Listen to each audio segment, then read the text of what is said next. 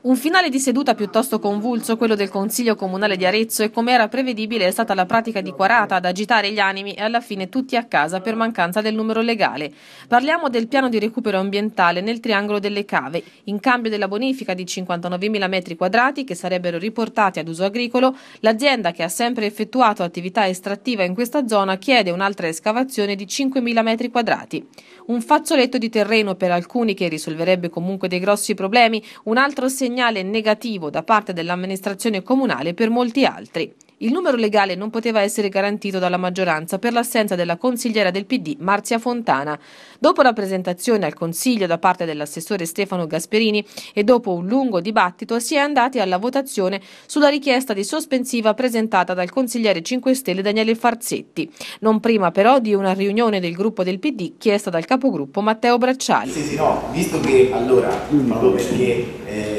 fatto è in votazione, andrà in votazione la richiesta di sospensiva, io chiedo la sospensione della sospensiva, quindi 5 minuti di pausa per eh, poter interloquire con il gruppo rispetto a questa ipotesi.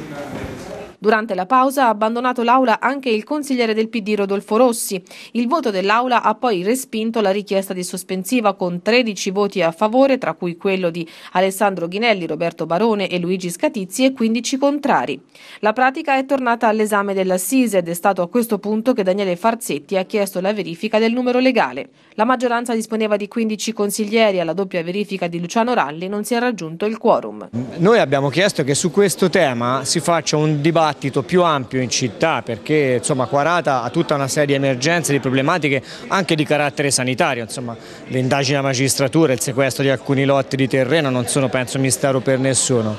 Eh, viceversa la maggioranza, che poi maggioranza non è, perché questo è un altro dei dati che gli aretini devono capire, è che purtroppo questa città non è condotta per mancanza dei numeri. Quando l'opposizione su qualsiasi tema eh, ritiene di dover fare un'opposizione veramente determinata, questa città sostanzialmente non ha maggioranza e anche questo sarebbe un tema che il Partito Democratico dovrebbe fare in maniera seria e decisa. La pratica naturalmente ha una valenza che l'opposizione ha reso dire, molto più ampia rispetto a quella che poi è perché si sta parlando di una cosa molto limitata e non esiste il partito dell'inquinamento e il partito della bonifica, i lavori stanno, di fatto sono, vanno in parallelo e sono cose naturali, la pratica chiaramente ha dei risvolti complessi proprio per questo motivo qui, quindi stamattina eh, l'opposizione, noi siamo in 15, ci vuole 16 persone perché il consiglio sia valido, quindi stamattina dobbiamo rinviare la discussione al prossimo consiglio che sarà tra pochi giorni. È naturale che poi non tutti i provvedimenti, il nostro è un partito molto grande, quindi non tutti i provvedimenti possono essere digeriti allo stesso modo,